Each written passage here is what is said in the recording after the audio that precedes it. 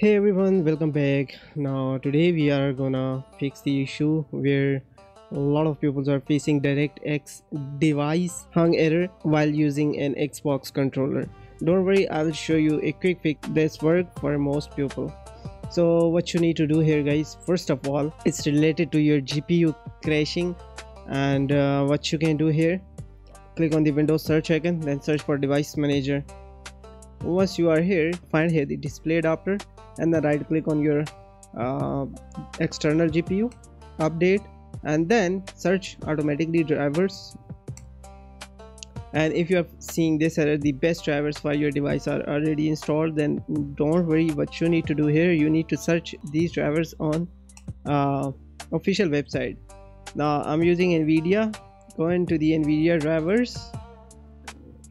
Uh, download the official nvidia drivers and then you need to search your product over here like i'm using nvidia.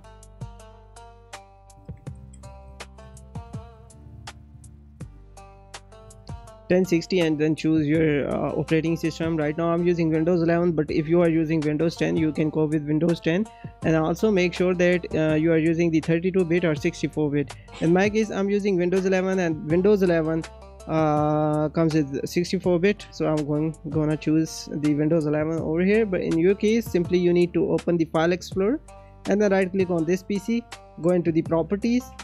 Once you are here you will see the uh, system type. You can see 64-bit operating system. So you need to download the 64-bit and if you have the 32-bit you need to download the 32-bit version. Now once you are here click on the find and it will give you the download links like it will redirect you on the download page.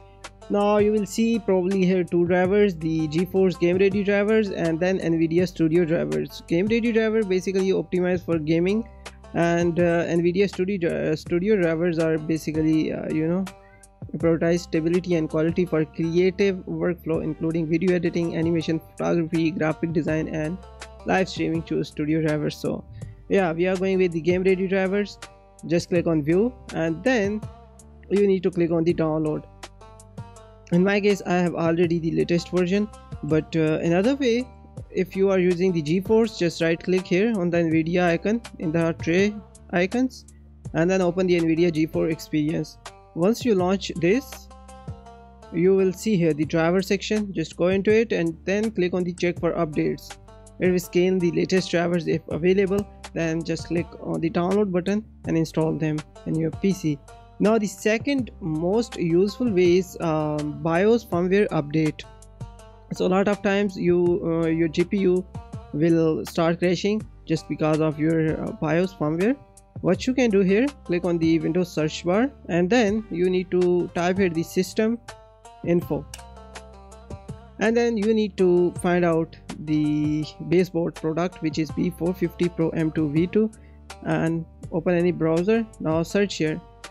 B450 m Pro M2 V2 drivers. It will redirect you on the official website where you can easily find the drivers and BIOS update etc. Just click on the first uh, website.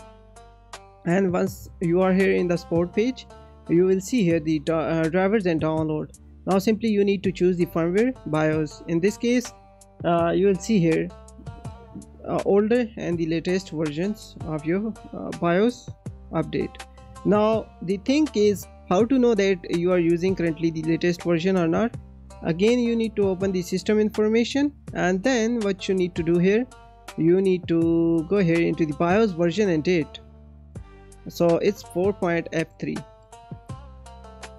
and you can see at the end 4.f3 currently I'm using the latest version.